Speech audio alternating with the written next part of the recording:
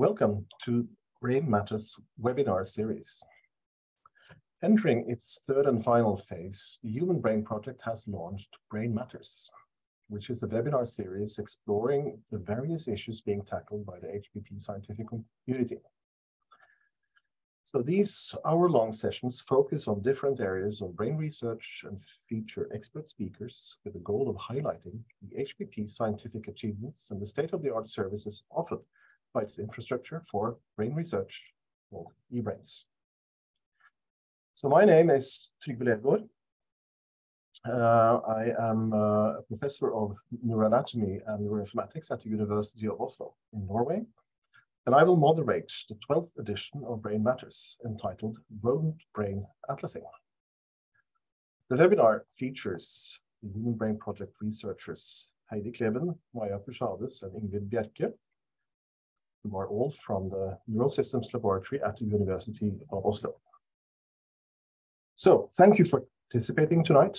Our three speakers will each have a 10-minute session, together forming a continuous half-hour session feel free to write your questions using the Q&A section of Zoom, and we will answer it at the end of the webinar. Please also mention the name of the speaker to whom your question is directed. And finally, please note that the chat will not be read, only the Q&A section. But before our three speakers begin, I will say a few words about the background for the topic of this Brain Matters session. The brain is the most complex structure we know, and experimental data are collected with different methods at multiple scales. But despite many decades of research investment, we remain far from our goal of understanding brain structure and function to an extent that allows us to identify effective treatments for brain disease, which are a major burden for society. So increasing amounts of research data are produced, but lack of reproducibility remains a major challenge. It is now widely recognized that we need to gather data in a different way. We need to openly share data in a way that allows researchers to find and access and integrate and reuse these data. And there is a need to integrate data. So to address these challenges, eBrains has, or the Human Brain Project, has created the eBrains research infrastructure, which uses open access brain atlases to facilitate integration and more efficient analysis of data. So brain atlases are important tools that are not only used to plan experiments, assign location, to brain experimental data to learn about the brain. But as we will see in this webinar, Atlas has also opened new possibilities for data integration and for developing more and better tools that allow efficient analysis of brain data. So if we then switch to the first speaker, who will be Heidi Kleven. Please, Heidi, can you share your screen? So Heidi Kleven uh, is a PhD student at University of Oslo, and she will now present some of her PhD work on developing and expanding 3D digital brain atlases for the rat and the mouse brain. Please, Heidi, go ahead. Hi, my name is Heidi, and I will tell you about the rat and mouse brain atlases used and developed by eBrains. First, I'll briefly introduce brain atlases. So what is a brain atlas and what information do we need about atlases to use them in computational tools? To find this out, we looked at a series of atlases, and here you can see a typical page from a fictional atlas, and one way of finding specific locations. In all of the atlases we looked at, we found that all of them had four common elements. A reference image, coordinate system, annotated brain regions, and names. And these are all connected uh, to each other. This gives us the Atlas ontology model, which is a model that we use as a basis for identifying the information that we need to use atlases in tools. The first brain atlas I want to talk about is the Waxholm Space Atlas of the Sprague-Dawley rat brain. So using ATOM, we can quickly find the important information.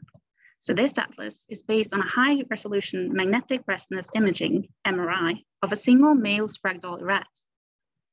The coordinate system is called the Waxholm space after Waxholm in Stockholm, Sweden, where it was invented, and is based on internal landmark, similar to what we have in the Talairach Atlas for human. This is what all the brain structure annotations look like, and I'll come back to these shortly. And the terminology is hierarchical, meaning that each structure is organized based on a system. In this case, it's organized based on the five secondary vesicles of the embryonic brain. So this brain atlas has been incorporated in the eBrain's infrastructure, and more than 100 data sets are registered to the atlas. This means that if I choose a brain structure, such as the CA1 in the hippocampus, I can see shared data that has been collected in CA1. I will come back to this a bit later. The Waxholm Space Rat Brain Atlas has more than 200 brain structures, such as the auditory system, basal ganglia, cortex, the hippocampal region, and thalamus. All the brain structures in the Waxholm Rat Brain Atlas has been manually delineated and when it's difficult to see a border, we use additional data such as cyto, myelo, or chemoarchitecture, electrophysiology, or literature to find specific details. And we also talk to expert anatomists to verify the borders. Each structure has a set of specific metadata, such as a unique ID, a color code, a name, and hierarchical position. So here are some of the newest brain structures that we have delineated. These are the cortical structures. Thalamic structures. And the striatopallidal and midbrain dopaminergic structures.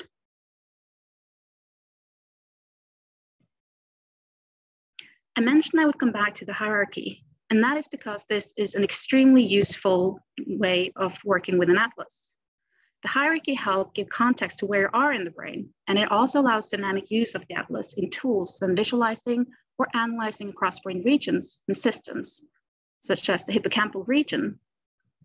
So you can either isolate structures, regions, or systems that you want to look at, or you can combine areas.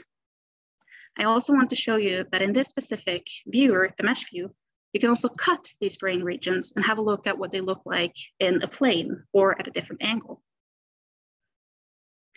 As this rat brain atlas is incorporated in the eBrain's infrastructure, that means that it is also possible to use the brain structure to find data collected in that specific area. So you can look at the hierarchy, search for a structure, such as the CA1. You can choose this structure and look at regional features. Here you get the list of data. And if you choose the first one on the list, you get a bit more information about what we will find here. And you can then click on the eBrains dataset and you will be transported to the data card where you'll get an overview of the data, a data descriptor that says something about what you'll find, how to cite it, how to get the data, associated publications, and more information, such as specimen and metadata. Next, I wanted to briefly mention the Allen Mouse Brain Atlas, specifically the Allen Mouse Brain Atlas Common Coordinate Framework version 3 from 2017. Here, we can also use ATOM to quickly find important information. So this atlas is based on a population average of 1,675 mice. The coordinate system is the Common Coordinate Framework. This is what all brain structure annotation looks like. And as with the rat brain atlas, the terminology is hierarchical. This mouse brain atlas has also been incorporated in the eBrains infrastructure and have more than 200 datasets registered and available through the eBrains portal. There are 673 brain structures in the atlas, such as cortical regions, thalamic regions, basal ganglia regions, and hippocampal formation regions. And all these structures can be used in the same way as I showed for the rat brain atlas. So again, you can choose a region and find data. Here again, field CA1. And as the mouse and rat brain atlas are made up of the same elements, this allows us to compare them. So if you focus on the hippocampal formation, which is called hippocampal region in rat, we can see that they are similar. If you now have the same color scheme, it's easier to compare them. And Ingvild will show you an example analysis of this later. Lastly, I want to show you our most recent work, which is the developmental mouse brain analysis. We are working with four developmental stages, P9, meaning postnatal day nine, P14, P21, and P28. This atlas, these atlases are also population averages, as we saw with the Allen mouse brain atlas. And they have one other striking similarity, the same annotation set as the adult mouse atlas. So we are aiming to create developmental atlases with annotations that are comparable to the adult mouse, allowing analysis across young and adult animals. This will also allow us to get a better understanding of how the brain develops and visualize the differences between the developing and the adult brain. Ingvild will mention this later as well. So this is where you can find more information about the Waxholm Rat Brain Atlas.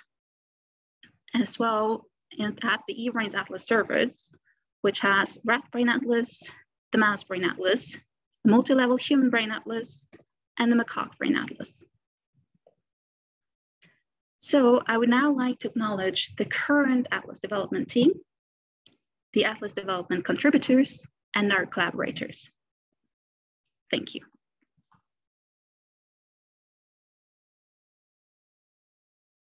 Thank you.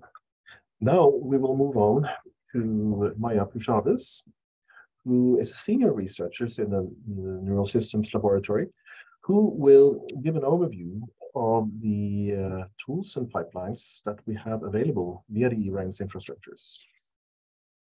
So, so Maja will talk about tools and pipelines that are used to analyzing rodent brain images using the 3D open atlases that Heidi just talked about, that then are employed to define anatomical location. So please, Maja, go ahead. Thank you very much, uh, Trygve, for this nice introduction. And uh, I will now present the eBrain tools and uh, analytical workflows. Um,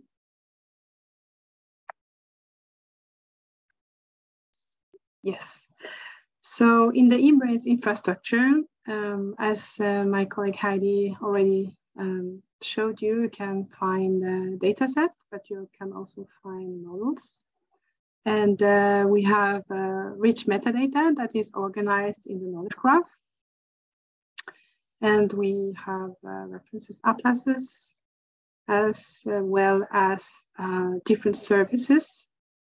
And within the atlas services, uh, we share tools that are used for spatial analysis. And I will also um, present some of the dedicated workflow for specific use cases. So to start um, in the Brain Atlas service page on ebrains.eu, uh, you will find tools for um, registration of your histological experimental images. Those tools are called QuickNII and Visualign. And uh, they are very handy when you have an experimental sections uh, like shown here in A, uh, where you, you want to see uh, where it fits in the atlas. It could be uh, that it's right in between two planches, but in those tools, you can modify the 3D atlas to uh, adapt uh, and find the exact location of your section. So I have a small video to show you this. Uh, in the QuickNII tool, you see you can um, manipulate the 3D atlas by stretching it in different dimensions. Uh, the QuickNII user interface allow you to um, switch between different uh, data modalities. You can choose MRI, DTI, or um, choose to visualize the meshes. Uh, you will have your experimental section and the atlas on top of it in the main window, but also three small windows showing the other planes. so you can orient yourself during this registration process. And you also have uh, on the right hand side uh, an overview of your sections. So QuickNII is compatible with any cutting angle and we have developed um, many user manuals and we also have uh, tutorial videos that are shared on the INCF training space. Uh, we are happy to uh, have a growing user community and uh, we are also soon going to share um, an online version of uh, QuickNII on the eBrains Collaboratory. Uh, as QuickNII is performing uh, a linear registration, you might want to refine your registration. And for doing this, you can use our tool Visualign. Um, as shown here in this small video, you can place um, markers on specific landmarks and then stretch the atlas in place. By doing so, um, you will refine the registration that you already have obtained, either using QuickNII or DeepSlice tool, which is a machine learning based automatic registration tool. Here also we have uh, prepared uh, friendly tutorials. And what is very important is that both QuickNII and Visualign are compatible with the other tools uh, inside the Quint workflow, but I will come back to that in a moment. Uh, on the eBrains infrastructure, you will also find uh, different viewers that are linked to dataset. Uh, one of them is the Mio viewer, where you can visualize high resolution image um, in a film strip mode or in a collection mode. And we also have the Localizoom viewer, um, where you will see uh, the result of your anchoring, but you can also perform some point annotation that can be extracted. So you have this dual possibility to view with or without uh, the registration. Uh, in Localizoom, you will be able to see the brain name when you hover the mouse over the brain region and uh, extract uh, coordinates of those uh, annotations. Localizoom is also compatible with the other tools in the pipeline, uh, QuickNII Visualign, uh, MeshView, and Retail. Um, we, as Heidi showed you uh, briefly, uh, we also have a mesh view, which uh, allows you to visualize the Atlas meshes, uh, and they are toggleable in uh, opaque, transparent, or hidden uh, mode. And when the the meshes are rendered as solid objects, you can cut them. And this viewer is available uh, for different Atlas versions uh, as well in the mouse and in the rat. What is also possible to do with mesh view is to render point clouds uh, as shown in the small video here.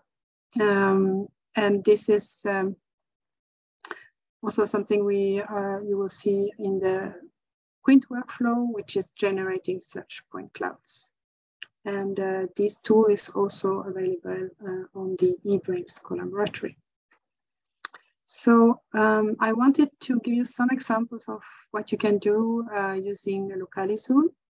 For example, uh, my colleagues, uh, Professor Leergaard and Studer, um, used the Localizoom to annotate the cortical pontine projections and uh, they, uh, by doing so, were able to show that in a NR2F1 knockout mouse, they had increased connection from the cortex to the pons as compared to wild type animals.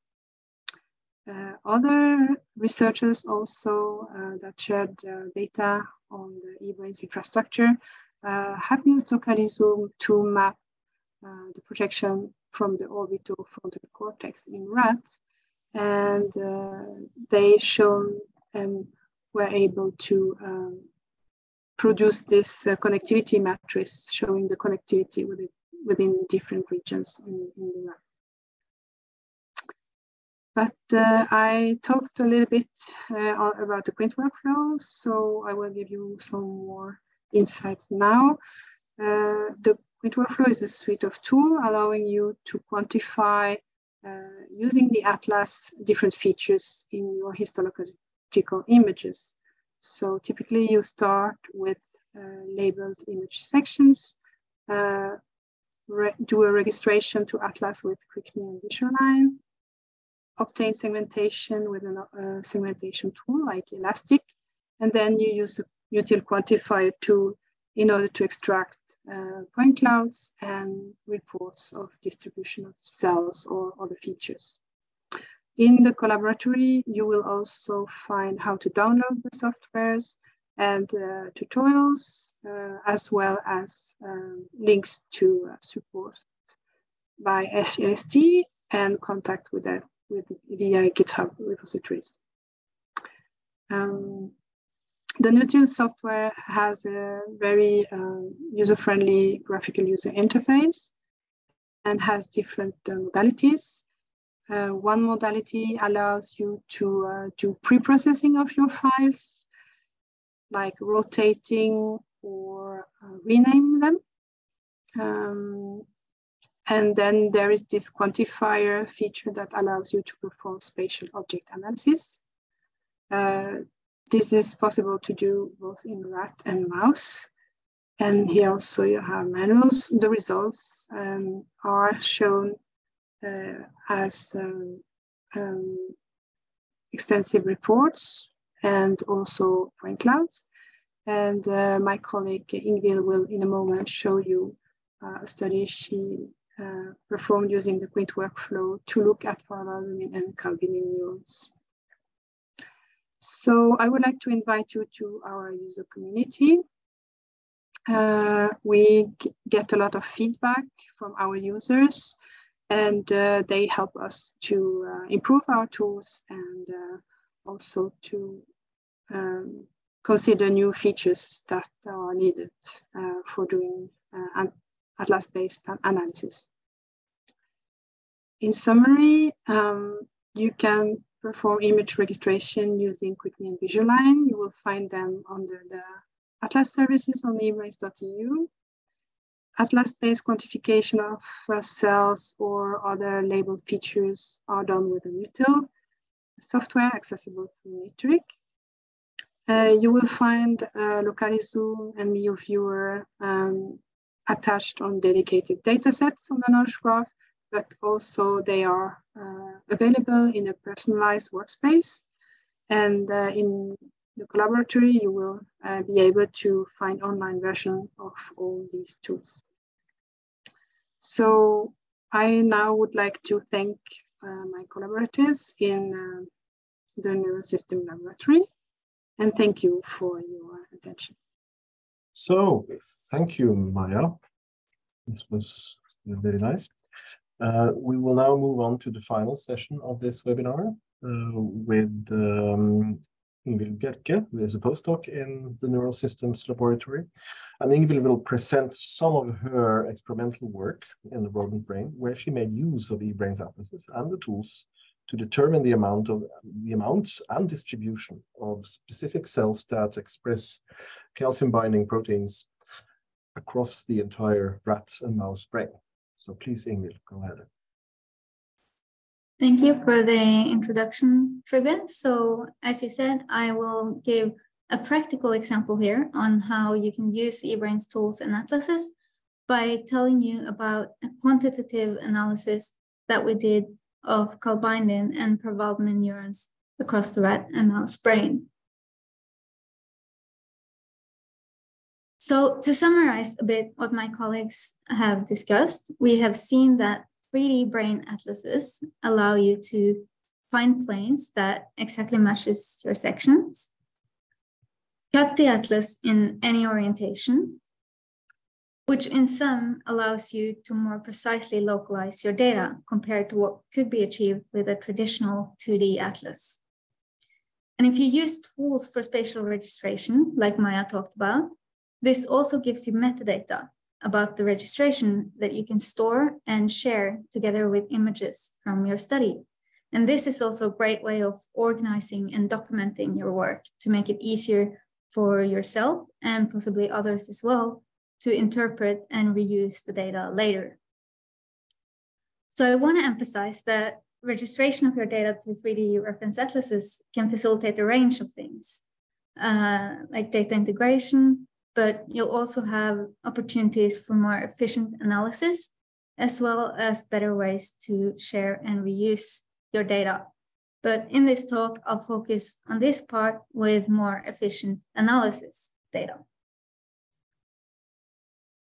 So what I've been focusing a lot on in my research is to use 3D brain atlases in general and the Quint workflow in particular to quantify neurons across the brain. And counting neurons has been of interest for researchers for a century, but has traditionally been very labor intensive.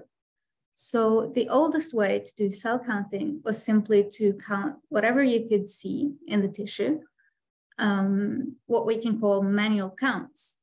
And this can obviously only be done for very small regions. And what you typically see in the literatures is that researchers will draw a circle or a box of a known size onto their sections and then count the number of cells within that known area.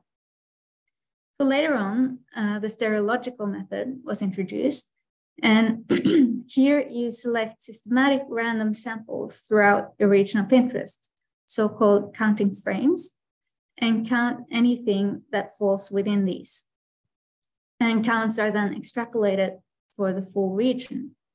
So this means that you can sample larger areas than you could by counting everything manually, but it's still quite time consuming as the regions of interest have to be drawn by hand and counts within the counting frames still has to be done manually.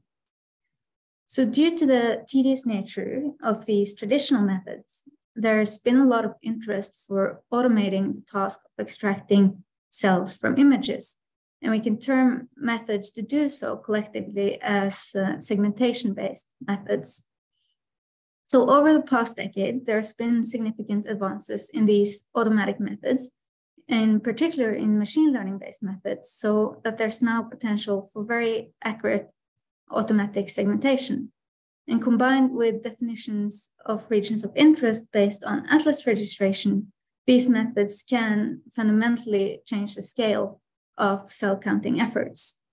So uh, going forwards in the talk, I want to show you an example use case of what we can do with these more automated approaches to counting cells.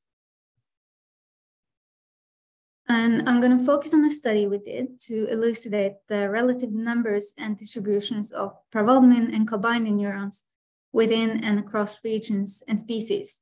And we here had data from both rat and mouse brains. And we use DAB immunohistochemistry to visualize the calbindin and parvalbumin positive cells. And we then register all of these section images to reference atlases using QuickNII and Visualign. And shown here are the mouse brain sections, which were registered to the Allen Mouse Brain Atlas, but we also used the Waxholm Space Atlas for the rat data. And we then used a tool called ilastik to perform image segmentation. And ilastik is a machine learning based tool that basically allows you to teach the computer to recognize the features you're interested in and it's very convenient as you can interactively view the results as you go, and you can keep training until you're satisfied with uh, what it extracts. So here you can see some examples from our extraction of calbindin and parvalbumin cells. And so once we have these atlas maps and the segmentation images, we then can quantify and visualize all the segmented cells using NUTIL, which gives us these visualizations where each extracted neuron is color coded according to the brain regions. And we lastly post-processed the quantitative data from NUTIL and created uh, these types of bar graphs that you see at the bottom of the figure, where every bar represents a brain region in the atlas. So I'll present some of the results from our analysis of these numbers uh, we did a cross-species comparison of the hippocampal region in mouse and rat. And to do this, uh, we first had to assess which region corresponded among the two atlases used for the rat and mouse. So this is what Heidi showed briefly earlier. So here in this figure, the Allen mouse brain atlas regions are combined and color coded according to their corresponding region in the Waxholm space atlas. And this type of combination of structures into custom regions is a feature that you can use in NUTIL. So we found many similarities in the two species. As we can see here, the numbers differ, but the trends uh, are very similar across the different subregions of the hippocampus and parahippocampus.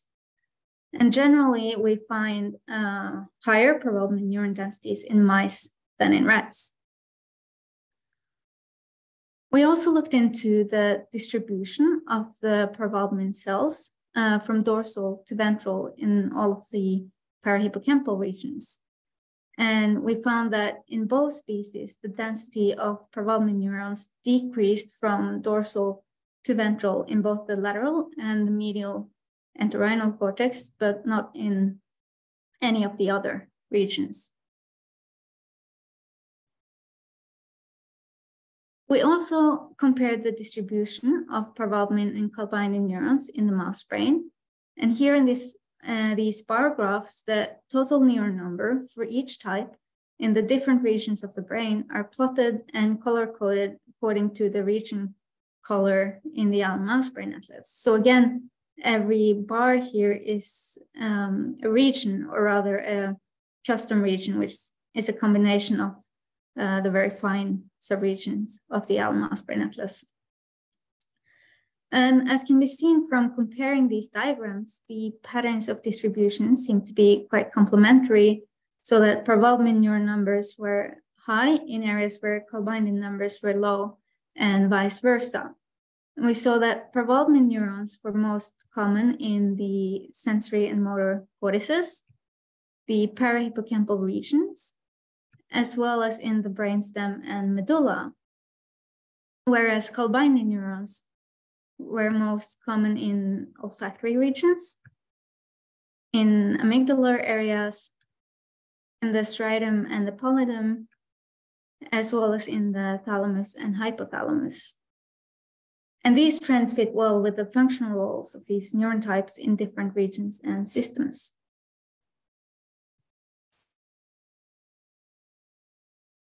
Uh, so to give you an outlook on what we want to do next, uh, we know that parvalbumin and calbindin neurons are abundant in the brain, and they also have been implicated in a range of neurodevelopmental disorder.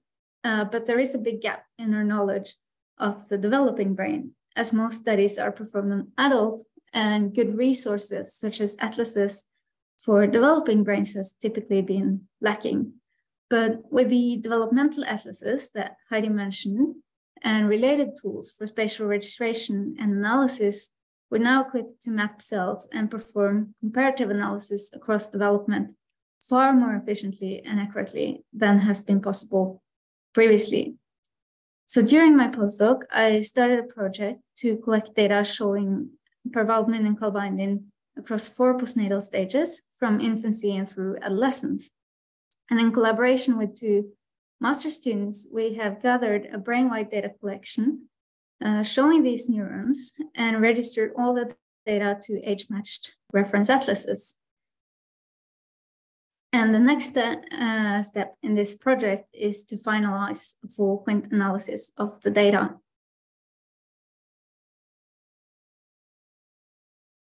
So to summarize, I hope that I've convinced you that there are some significant advantages of mapping your data to 3D atlases, and in particular that it allows for more efficient analysis, which in turn allows us to increase the scope of our studies.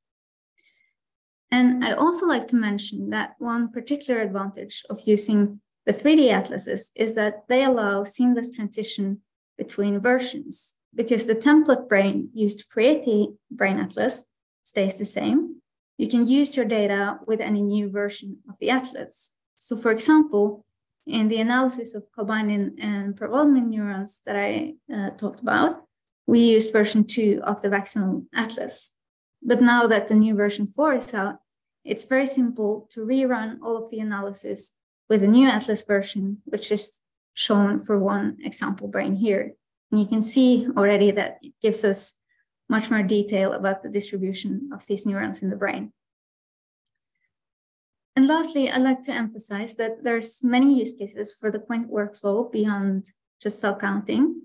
And we know that the workflow has been used to map many different features such as axonal terminals, microemboli, and Alzheimer's plaques. And then lastly, to just summarize some resources for you, if you want to read more about using the Quint workflow for cell counting, you can see our publication in iScience from last year. You can also find a lot of documentation on the Quint workflow on the this eBrains Colab, and you can always get user support uh, in the eBrains system.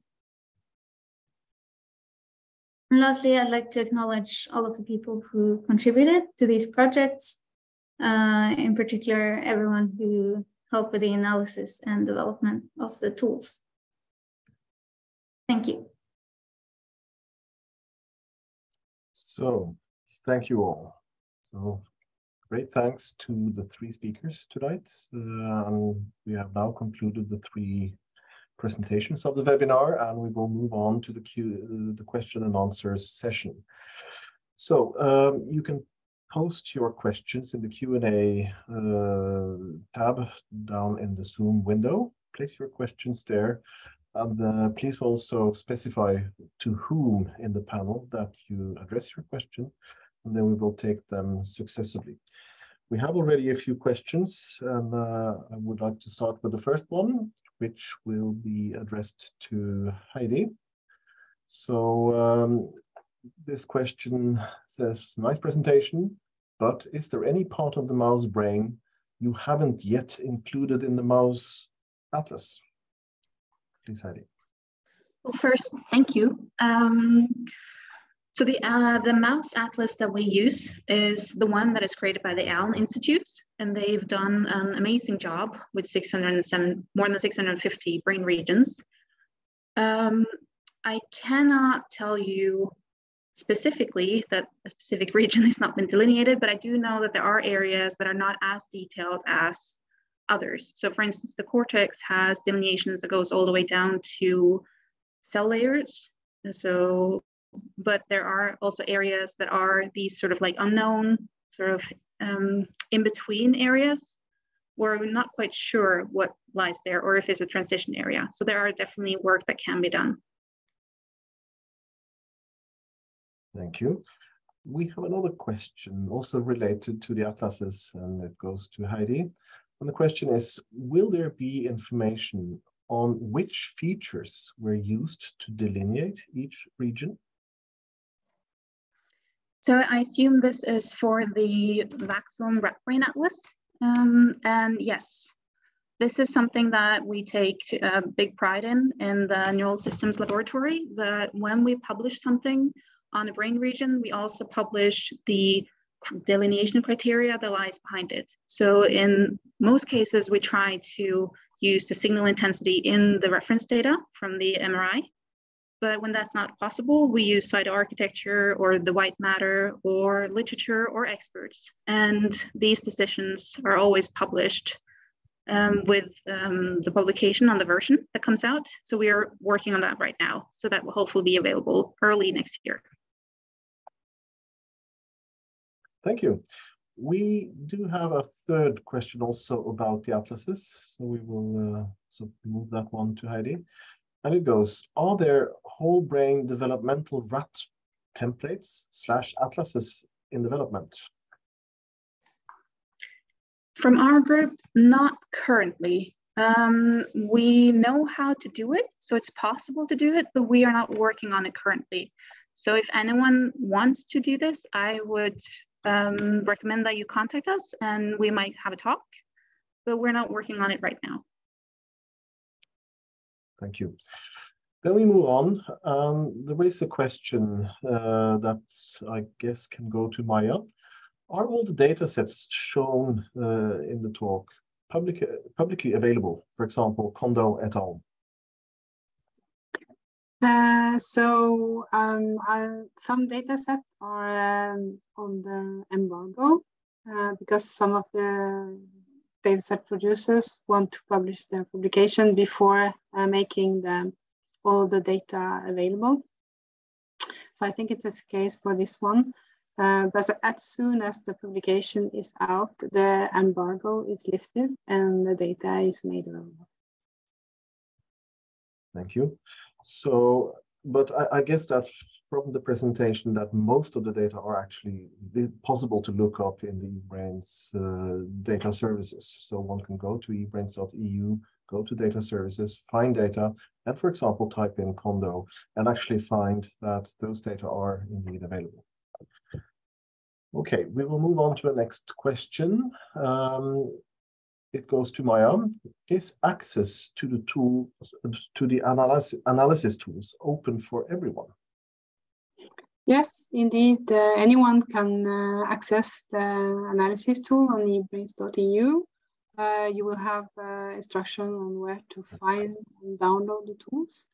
Um, uh, and as I said, also we are preparing online tools and those will be accessible through uh, through an eBrain um, account.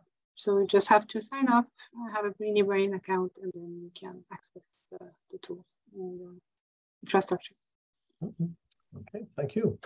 We have one more Atlas-related question. Um, can I add my own brain structures to the rat brain atlas? And I think perhaps this question should go to Heidi. Please. Um, Yes, in the sense that the Waxholm Brain Atlas is open source and available. So anyone can download it and also download the tool that we use to delineate structures, which is the ITK Snap. And you can make whatever structure you feel like. And we're also working on uh, trying to make a pipeline for people to test regions so that we can see if we can make a solution for custom brain atlases where you have these specific areas that you work on. This is still in the works, but yes, everyone can download the atlas and create new regions if you want to. And you can also contact eBrain supports if you want to have more information about what to do or any help. Okay, thank you. Then we have a question for Ingvild. Is this type of study possible to perform without any coding skills? Uh, I would definitely say yes. Uh, at the time when uh, we did the study, I did not know anything uh, about coding. So uh, it's very, very possible. I would say if you have large data set with lots and lots of samples, it helps to have some basic coding skills, but you definitely, all the tools have a graphical user interface and uh, you can get a very long way with with Excel and yeah. Okay, good. So there is a, a follow-up question that might go to both Heidi and uh, Ingvild, but the question goes, how easy is it to break down parvalbumin and calbindin densities into layers? For example, in the hippocampus. I can maybe start. Um, I would say the main limitation there is that, as far as I know, the uh, 3D, the mouse brain common coordinate framework, the most recent version doesn't um, separate the layers of the hippocampus, except in the dentate gyrus. They do, I think. But for the cornu ammonis, they don't have the individual layers in the atlas. So there, then you essentially have two options. You could modify the atlas itself and create your own version of the atlas, uh, which I suppose is a bit complex, or you might use some more uh, manual ways to delineate the regions. But I suppose the layers would be possible to to recognize in these stains, and Heidi might maybe say something about that. Yeah, so I, I completely agree. Um, this is a perfect example where you can delineate yourself and actually get the layers. Uh, in the hippocampus, these are easier to see than most. They're quite distinct. And there's also a lot of great uh, reference material at, out at eBrains, like the Tim Tunin reference data that is very helpful for recognizing the layers in the hippocampus, but it would require you to go in and make these modifications. But it's possible, so it might be worth the effort. But the conclusion, as I understand it two of you, is that in order to have granular analysis, it really depends on which structures are available for the reference atlases that are used. And they are, of course, possible to modify, but it's not a trivial task. So we have another question which is related to this, uh, addressed to, uh, to Ingvild. Uh, did you compare other regions in the rat and mouse brain than the hippocampal region? Uh, in our publication uh, in iScience, we did not, uh, and that was mainly because at the time we used the uh, second version of the Waxholm Atlas, where the most detailed delineations were in the hippocampus, and uh, most other regions were quite coarsely delineated. Uh, now that version four is out, as I mentioned, we can we can update these analysis, which we have piloted for one one of the data sets and seen that it's quite straightforward. So that is definitely something that would be interesting to do. And then we could look into the more um, finely delineated structures in version four, such as the thalamus uh, and the basal ganglia regions that Heidi showed. Mm. So the advantage of, of, of, of, this is that since the data are all registered to the same template, it is possible to do more refined analysis at a later stage once the atlas gets updated. Okay, thank you. Then um, also to Ingvild, uh, can the method be used to quantify neurons uh, seen using Nissl stains or uh, H&E stains? Um, I haven't seen anyone doing exactly that, uh, but in principle, the, the Quint workflow uh, can be used for anything where you can recognize the signal from the background. So if you can recognize it, you can generally teach uh, the machine also to recognize it. Um, I do think maybe Nissl stain sections might be tricky, uh, as I know them that it, it's it requires quite uh, trained neuroanatomists to spot differences between the different cell types. So I would maybe um, recommend using um, antibodies such as uh, NeuN or something more uh, that's more uh, easily distinguished from the, the background. But it would be very interesting to see uh, efforts to do this in Nissl stain. I haven't seen any uh, so far myself. Okay, thank you. Uh, do you have any additional comments to this, Maja? Because I guess the, I guess the question really points to what is possible to to to filter out using the machine learning uh, tools in the background. Exactly. So there are two aspects. So one aspect is uh, the image registration to the atlas. So that can be any image, and there the limitation is uh, that if you see any landmarks or not. So if the staining you're using um, is very pale and then you don't really distinguish so much uh, any landmarks, you could lose a bit of precision. But usually we use white matter landmarks and the hippocampus allows us to, in most stain, recognize where we are in the brain. And we haven't been using it also for fluorescence data, so it is possible. The other aspect is the segmentation, of course, and here um, there are some limitations, but there are many uh, image segmentation software or scripts.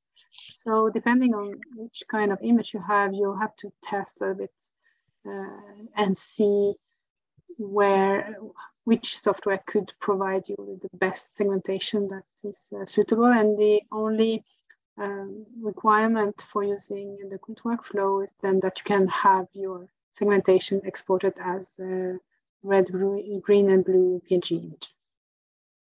Okay. Thank you. Let us move on. And this question goes to Heidi. It's about atlases. Do you have a similar tool for more up-to-date atlases such as Sigma? So I'm not quite sure what tool is referred to, but if uh, it's an alternative to ITK Snap, which is the one that we've used to create the Waxholm Rat Brain Atlas. There is one alternative one that I've seen in relation to atlases, which is the 3D slicer. I have not used this one, but I've had a quick look and it is also an open source and available tool. So that is what I would have gone to. Okay, thank you. And maybe we can also forward the question to, to Maja, because as I understand it, the question is, if you have another, an, an alternative atlas, what does it take to incorporate this into the tools, the atlas registration tools or the analytic workflow? Yes, so currently uh, QuickNII and Visualign have the atlas embedded inside the tool, so it's not a plugin.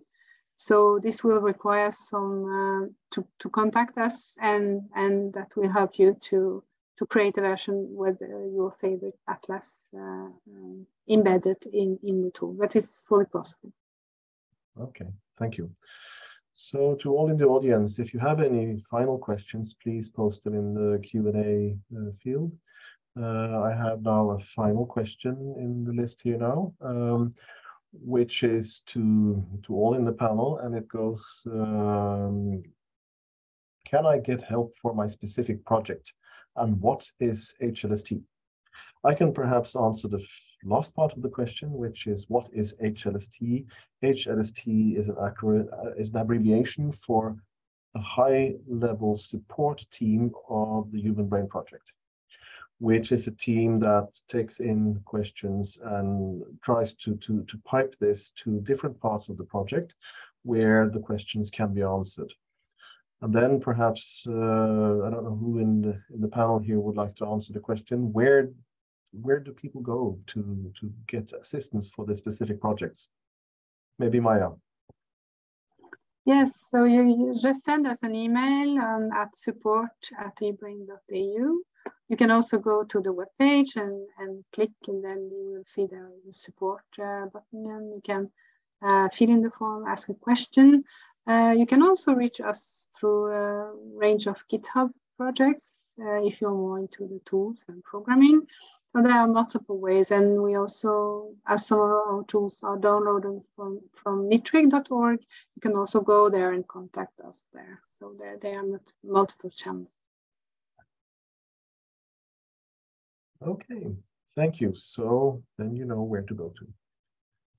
I think we can conclude the webinar with this. So thank you all for attending the webinar. If you would like to see a replay of it, please join the Human Brain Project YouTube channel. Uh, and if you have questions, uh, you can contact the outreach at humanbrainproject.eu, uh, where uh, where all these uh, webinars are found. The next webinar will be on um, on December 13. Um, and uh, I don't know if I have the title for that. It will be on neuroscience and high performance computing. So that will be on December 13 from 1630 to 1730 CET. So please join in for that webinar. Thank you for participating and have a good evening. Thank you.